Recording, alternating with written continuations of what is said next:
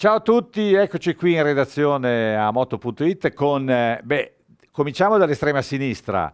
Edoardo Ricciardello, ciao Edo. Ciao a tutti. Andrea ciao Perfetti, ciao Andrea. Ciao a tutti. E qui di fianco a noi c'è Jacopo, presidente del Motoclub 125 Stradali. Buongiorno a tutti. Ciao Jacopo, parliamo di 125 stradali perché il Motoclub ha delle grandi attività, voi già lo conoscete sul sito, ne abbiamo parlato diverse volte, soprattutto una grande passione. Eh, per cominciare inquadriamo esattamente le vostre attività, poi parleremo del trofeo perché si parla anche qui di, di racing, di piste. Allora Jacopo, quanti siete, di che provenienza e che tipo di 125 amate? Allora, il Motoclub 125 Stradali è nato quest'anno come Motoclub, prima esisteva come 125 Club Italia.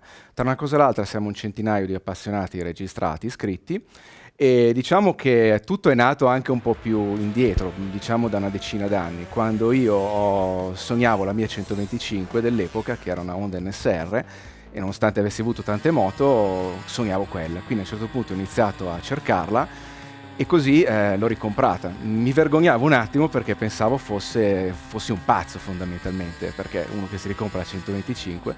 Invece poi mi sono accorto che non ero, essere, non ero l'unico pazzo, ce n'erano tanti. Sì. E quindi è nata tutta l'idea del motoclub e, e siamo qui oggi. Avete insomma intessuto rapporti, certo, consigli? Sì, certo, abbiamo iniziato a creare un sito che si chiama 125stradali.com che è diventato un po', se vogliamo, la Bibbia degli appassionati perché è completamente gratuito e offre un database completissimo su tutte le 125 mai prodotte nel periodo diciamo 1984-1994 che sono gli anni d'oro. Tu poi Nico lo sai meglio di me perché le hai provate tutte queste moto e, e quindi sai quanto importanti sono state per l'industria nazionale in quegli anni.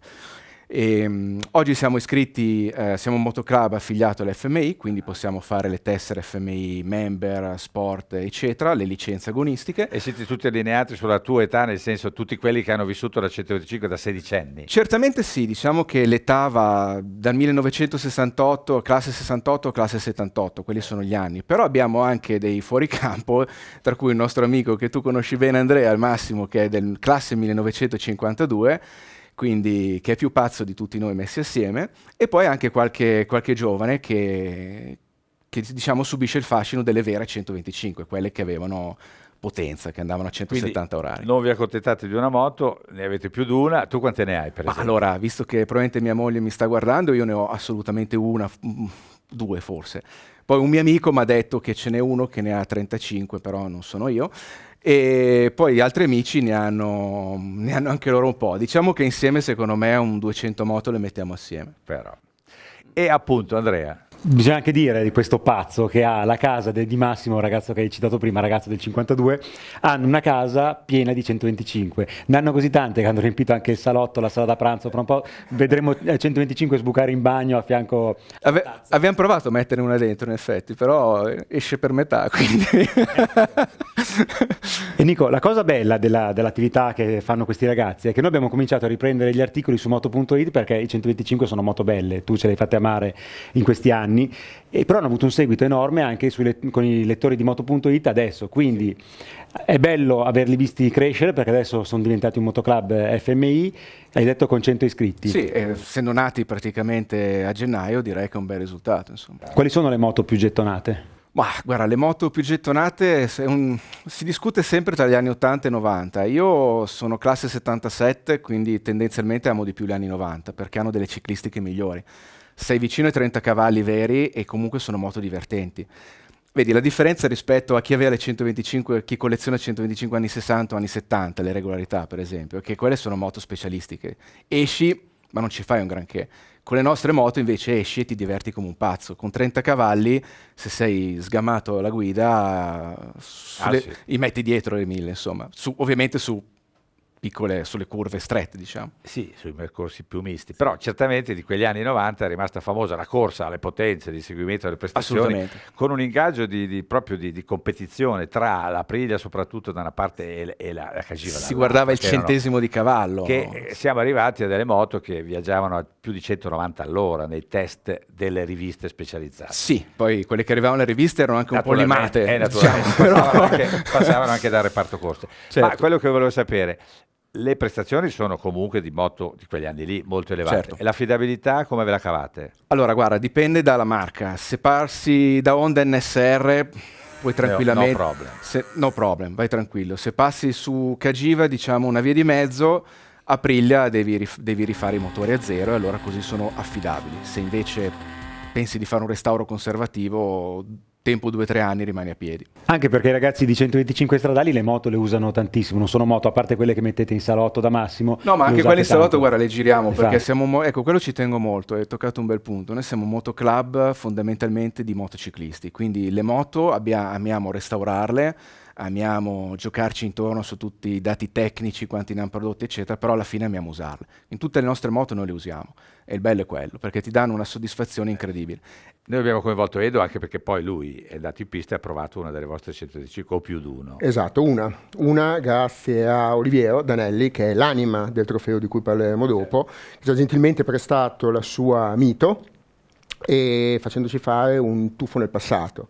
Un tuffo anche traumatico, perché ormai, come dicevo con alcuni amici raccontando questa esperienza, eh, non siamo più abituati ad avere delle erogazioni così appuntite, delle ciclistiche così agili e nervose, perché siamo tutti ormai viziati, siamo passati tutti a quattro tempi, il 600 la consideriamo una moto piccola e quindi quando torni sul 125 il cervello eh, va in tilt. Però è un'esperienza rinfrescante ed è molto bella perché le potenze in gioco sono basse e quindi si riesce a concentrarsi di più sulla guida, fanno meno paura. Sei tu che guidi la moto, non è la moto che porta in giro te. E, e si rimpara a guidare perché lì ogni minimo errore lo paghi carissimo in termini di tempo sul giro. La guida fina. La guida fina si impara di nuovo a guidare tondi, a guidare precisi, perché quando apri, se non sei al regime giusto, non esci dalla curva. Eh, Eh, si, si impara anche a grippare. E si impara anche a grippare, perché purtroppo Che si è persa succede. E si è persa l'abitudine. ditino Si è persa l'abitudine di tenere il dito sulla frizione. A me è successo purtroppo quasi subito e come raccontavo prima Nico, il cervello subito non, non ha realizzato cosa stava succedendo. C'è stato solo un attimo, mi sono ricordato il fraggetto in cui ero, ho tirato la frizione, vabbè tutto bene, dritto in via di fuga, però è, è un'ottima esperienza, è una cosa Andrea, molto bella. parliamo di campionato perché questi hanno in ballo anche un campionato, non, non paghi di riempire le case di moto. Bravo Nico, infatti Edo era proprio lì per prendere le misure con le moto, con la pista, ha preso le misure e non correrà perché abbiamo E deciso di correrò io, mandare... Perché abbiamo scoperto che in redazione abbiamo un Esatto. altro matto di quelli eh, di cui parlava prima Jacopo, che eh, parteciperà a tutto il campionato con la sua Aprilia, Luca Frigerio, che avete già probabilmente incontrato in qualcuno dei nostri video, in qualcuna delle nostre prove. Eh, che si vuole mettere a prova su tutto l'arco del campionato e quindi abbiamo pensato che fosse un'ottima opportunità per eh, far parlare. Sì. E Nico, campionato vero, adesso facciamo parlare Jacopo, inserito dentro il calendario FMI del Moto Estate, con due categorie, una che ho definito da sparo e l'altra un po' a marcord. Esatto. Sì, la, diciamo la categoria da sparo praticamente il limite è la cilindrata e il telaio della moto che deve rimanere quello originale. Quindi si hanno mh, anche dei costi abbastanza importanti perché per preparare una moto di quel livello potenzialmente vanno via dai 10 ai 15 mila euro, quindi parliamo di moto abbastanza costose. Sul discorso invece a Marcord, come l'hai chiamato tu, che noi chiamiamo SP, mh, la moto essenzialmente è quella originale, quindi sì, due accorgimenti, le sospensioni al motore, ma nulla di che, e si può partire con una moto che da 2-3 mila euro si fa un campionato. Anche il treno di gomme, viste le potenze in gioco, non sono particolarmente elevate, non dico che dura tutta la stagione, ma quasi, quindi i costi sono abbastanza gestibili direi. Avete un numero chiuso perché rischiate di fare la plan. Ma numero chiuso per adesso no, il primo anno, però posso dire che abbiamo già 20 piloti iscritti per tutte le gare, che sono 5, con la prima che è il 30 di aprile a Varano, de Melegari, e l'ultima che si chiude il primo ottobre sempre a Varano. Quindi mh, circuiti abbiamo circuiti per le 125, quindi appunto Varano, abbiamo la Cervesina, la Franciacorta, Modena e quindi insomma c'è da divertirsi. Adeguati. Sì. E Nico pensa che vogliono scoraggiare i ragazzi, o i ragazzi giovani o semplicemente i ragazzi magri perché fare la categoria la categoria a marcord hanno messo il peso minimo, devi zavorare la moto, è una cosa vergognosa. sì, quello l'abbiamo fatto anche per tenere una competitività Sono 200 kg di peso minimo, queste moto grippano per forza dopo. eh. Ma no, alla fine, guarda, se non siamo più sedicenni, quindi se calcoli un po' il peso de- del guidatore, si arriva, si arriva facilmente ai 200 kg. Adesso Oliviero non me ne voglia, ma insomma, lui ci è molto vicino.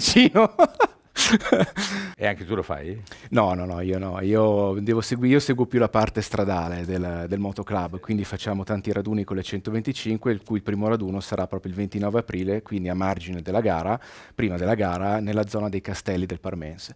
Quindi io, sono, io mi occupo più della parte stradale, Oliviero invece la parte agonistica e lui corre. E a proposito di raduni, adesso facciamo passare anche le immagini del raduno a cui abbiamo preso parte. Abbiamo conosciuto questi ragazzi proprio durante un raduno di 125 con ospite Francesco Paolillo. Esatto. Uh-huh. Sì, si è divertito come un pazzo con una futura replica del 1991. Poi le ha provate tutte. Sei ovunque. Basta che si mangi e Paolillo c'è, c'era. Sì, sì, ha mangiato bene. Ha mangiato bene. Jacopo, raccontaci i costi per partecipare al campionato 125 categoria Amarcord, quindi non costi alti come l'altro. Ma allora, come ti dicevo, le moto, per approntare una moto decente, quindi partendo come base, non so, una Cagiva Mito, una Priglia RS, ma anche un'Onda NSR, vai sui 1500-3000 euro più o meno, dipende poi da come la vuol fare. Per iscriversi più o meno saranno un migliaio di euro.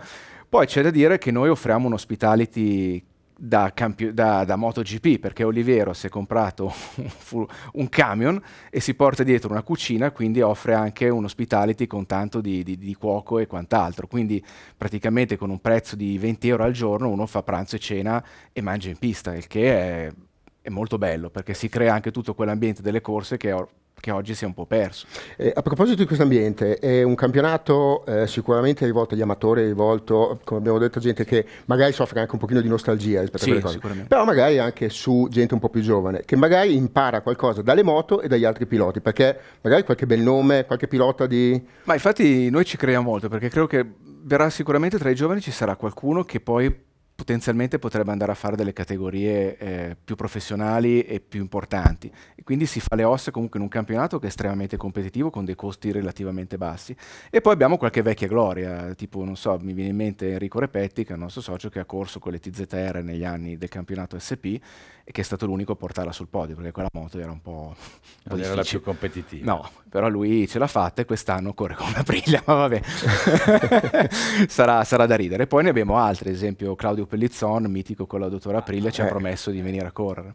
È un, è un, caro amico Claudio e adesso vabbè si è un po' fatto male con la ovale, ma, ma appena si riprende lui non lo stacchi da, dalla tuta di pelle. Insomma. Assolutamente. E il campionato lo seguiremo tutto su moto.it con Luca Frigerio che farà i video con l'onboard, quindi anche il video delle partenze con i 125 come nella mitica 125 del moto mondiale di un po' di anni fa. Sì, è lì è tutto frizione e gas. Frizione, gas, fumate azzurre e via. Fumate azzurre e via, esatto. Nico, a proposito di fumate azzurre. No, certo, fumate azzurre, penso tu che ti occupi soprattutto della strada, ci sarà un'accoglienza beh, sempre divertita perché comunque vedere un gruppo di, di folli con, con, le motorette vecchie, però ci sarà anche tanto fumo, la gente come vi vede? Guarda, alla fine il fumo lo vediamo noi quando torniamo a casa con la visiera impregnata d'olio, anche perché a volte c'è chi arriva con la carburazione un più grassa e quindi è meglio sempre stare avanti che indietro nel gruppo. Però ti dico, eh, torno sempre a casa eh, veramente felice perché vedo tanti tanti ragazzi che hanno ormai la nostra età che quando ci vedono in gruppo si avvicinano al semaforo oppure quando siamo fermi ci chiedono della moto, ci raccontano della loro 125 che avevano all'epoca. Quindi veramente eh, sono moto che, come dice un mio amico, fanno girare anche i semafori, quindi quando no, passano. No, sì. Ritorna quella passione sì. là sì. e sanno, sanno, suscitare ancora Sì, ti rendi conto che, che, quanti cuori hanno fatto battere e quanti cuori fanno ancora battere. Quindi, Edo? Sì. Eh, è un, soprattutto per me che appunto grazie alle tue prove le sognavo quando avevo 16 anni, è stato molto molto bello tornarci in pista ed è un'esperienza che eh, sinceramente consiglio, consigliamo a tutti perché è appunto didattica perché si impara a guidare, poi si scoprono delle sensazioni bellissime, si perdono vent'anni nel momento in cui si siede sulla sella e si ricomincia a guidare, perché riscopri poi dopo tante cose che avevi dimenticato, soprattutto se le hai guidate a suo tempo. Andrea, devi toglierti un sassolino dalle scarpe perché ti hanno trattato male. Sì, ah, io a proposito della fumera in strada, vieterei la loro circolazione perché ecco, trovo che sono altamente inquinanti. è bello in pista, queste cose sono divertenti, sì, però sì. su strada basta i 125 Concordo, inquinano. Infatti monteremo tutti i motori quattro tempi l'anno prossimo. Grazie Jacopo, avete, se non lo scoprivate, se non lo sapevate già, avete scoperto un mondo che vale la pena di essere esplorato, quindi complimenti. Grazie a voi. Bocca al lupo per tutte le vostre attività.